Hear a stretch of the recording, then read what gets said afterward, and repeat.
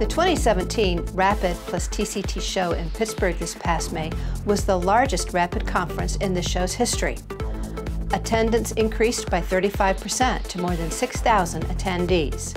329 companies exhibited this year, which is a clear indication that the additive manufacturing industry is growing. Most of the attendees were design engineers looking for better ways to realize their designs. If you want to see what additive manufacturing and 3D printing are all about and what they can do for you, plan to attend the next conference from April 23rd through 26, 2018 at the Fort Worth, Texas Convention Center. And if you want to see more about the exhibitors and their products, visit the Make Parts Fast website and our YouTube channel.